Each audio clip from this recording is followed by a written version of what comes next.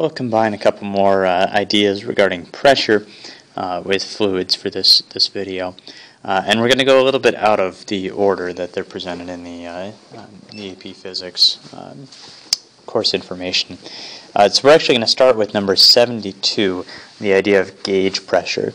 Uh, gauge pressure is, is just what it sounds like. It's the pressure that a pressure gauge would read. So when you uh, put your pressure gauge onto your uh, car tire to check the pressure there, that's the number that's coming back is the gauge pressure. Now, if your tire is completely flat, the number that you get on your gauge pressure is going to be zero.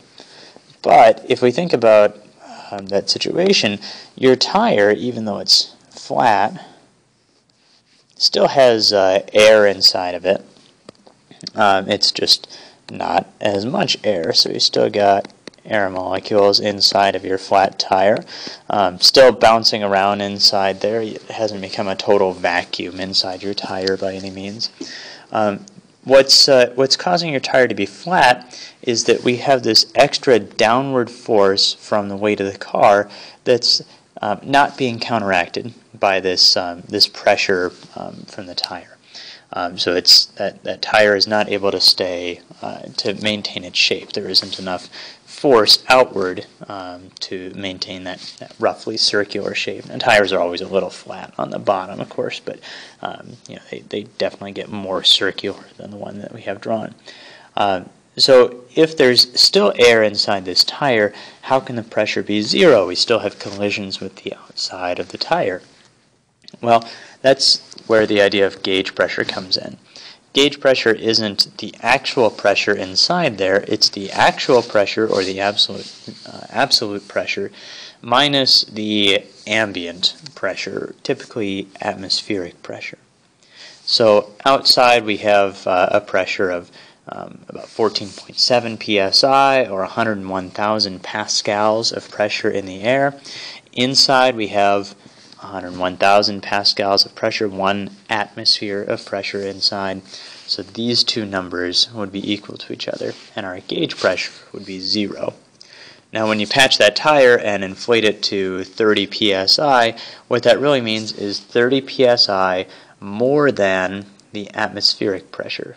So your absolute pressure there would be about 45 psi instead of uh, instead of 30 psi because we've got about 15 or 14.7 psi um, in the atmosphere. Uh, now down to uh, um, down to the idea of changing depth in a uh, in a fluid and how that affects pressure we have some sense that as you go deeper and deeper, the pressure gets larger. Uh, we've all seen uh, you know, movies where they go down deep in submarines, and as they get deeper, they start to hear the creaking in the submarine, and oh, will it hold? And um, you know, it's very dramatic, of course. Um, we understand that as they get deep, the amount of pressure gets very, very large. Now we can think of this in terms of the the weight of water that's above uh, our submarine or whatever our object is that's that's down at the bottom uh, or down below the surface of this liquid. Uh, so I've drawn this out. I have uh, the the darker blue to represent sort of the general, um, say this is water, but any fluid um, in a container, and then the lighter blue that represents the um, the water that's directly above some object here that has a cross-sectional area A. Um, and so we have this column of water up above that then. Um, the column of water has uh, a height h, and we're looking for the density, or sorry, the, the pressure at the bottom of that column of water. Now, up above that water, let's say we have air at one atmosphere of pressure. So whatever pressure this weight of water is causing um, at this location, we're also going to add to that the atmospheric pressure at that point, or the pressure of, of this gas or this other fluid up top here just gets added on to whatever this causes. Uh, so we need to figure out the pressure, and we know that pressure is equal to force divided by area. Well, the force that we're talking about here is going to be the weight of this quantity of water. So the pressure is equal to weight times the area, or sorry, divided by the area. Um, we're not given the weight though.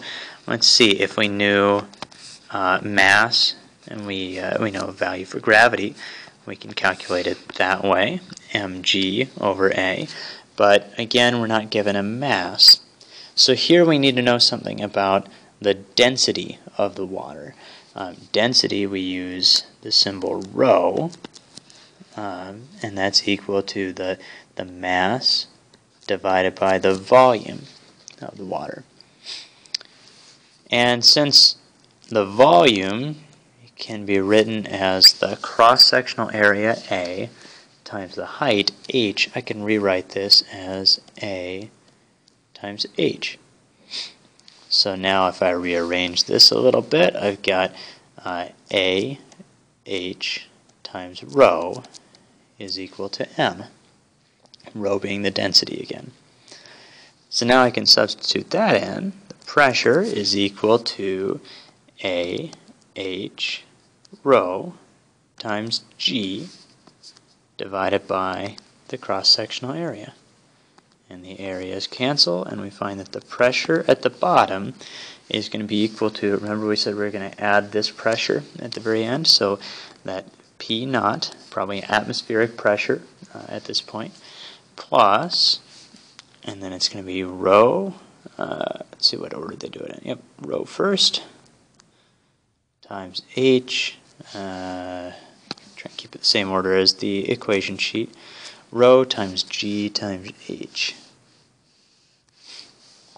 So this term here, rho times G times H, that corresponds to the, uh, the weight of this water above this point divided by the area over which that force is acting.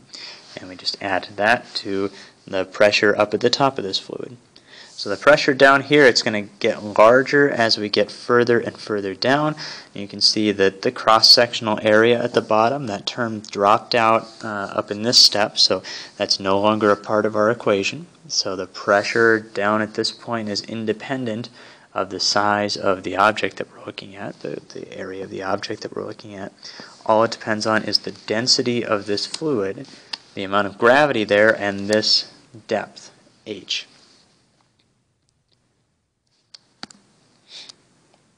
And the last thing that we need to do with this is be able to, uh, to identify areas where pressure would be equal. Well, since we've uh, established that the only things that matter are the density of the water and the amount of gravity and the depth, h, um, since density and amount of gravity, those are probably going to be fixed, then we're going to have equal pressure in areas that have an equal depth. So if I draw a horizontal line anywhere on this diagram, I've got the same pressure here as I do here because they're both at the same depth, h. And even if I don't have a direct connection, I'll have the same pressure here as I do here because these are both at the same depth. Maybe call that h prime. And then another horizontal line here and here. Those are at the same depth, maybe h double prime. So I'll have the same pressure here as we do here.